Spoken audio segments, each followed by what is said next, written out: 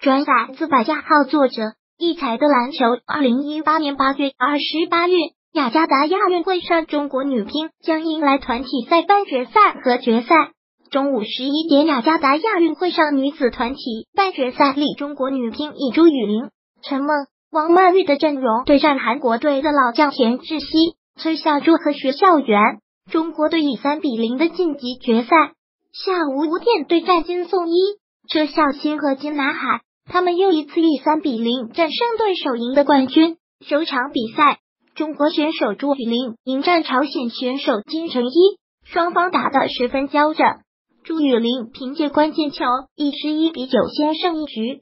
第二局朱雨玲先获得领先，但是遇到了对手的疯狂反扑，朱雨玲再次顶住压力，十一比八再胜一局。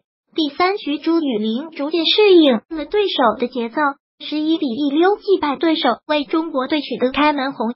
第二场比赛在陈梦和车孝兴之间进行，前两局陈梦都轻松击败对手。但是到了第三局，车孝兴开始了绝境反扑，陈梦一度八比九落后对手。随后陈梦连得两分钟拿赛点，最终陈梦十四比十二击败对手，中国队取得二比零领先。第三场比赛是王曼玉迎战金南海，在金南海先下一局的情况下，王曼玉连下三城，帮助中国队三比零击败对手，获得女乒团体赛的金牌。这届亚运会，中国派出的是二队，一直赢了金牌，颇有一种独孤求败的感觉。世界上乒乓球打得好的女人，基本上都是亚洲的，尤其是中国球队很难遇到困难。记得在一次比赛中，中国乒乓球女将张怡宁已经十杠零的大比分领先，出于礼貌，一般都会让球，不会打出十一杠零的，这样就避免对手的尴尬。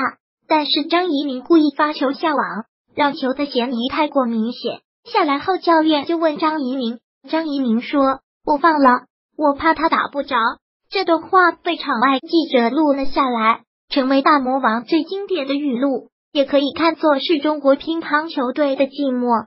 自荣国团一九五九年赢得第一个世界冠军至今，中国乒乓球队四十多年来共为祖国。夺取一百二十四点五个世界冠军，在亚运会的赛场上，乒乓球女团都是一共获得九次冠军，为中国军团的球类项目成绩第一。梦之队意味着参加比赛就能夺冠。